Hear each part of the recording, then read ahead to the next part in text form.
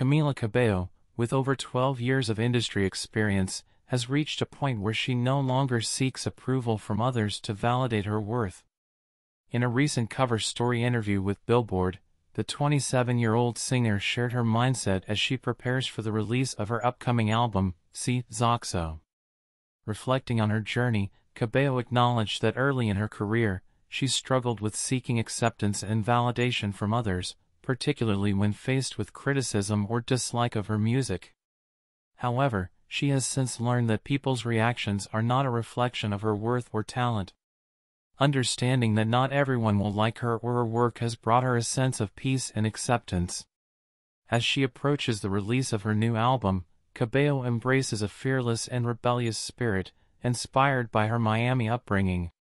She aims to live a more vibrant and sensory-driven life, enjoying every moment and reveling in her own sensuality.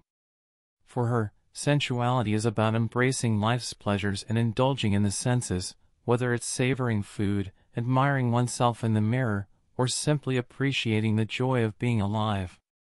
C,XOXO, Cabello's fourth studio album, is scheduled for release on June 28, featuring collaborations with artists like Drake, Lil Nas X, and City Girls. With this album, she embarks on a new musical journey, marked by a fresh sound and era, as exemplified by the release of her single I Luv It featuring Playboi Carti.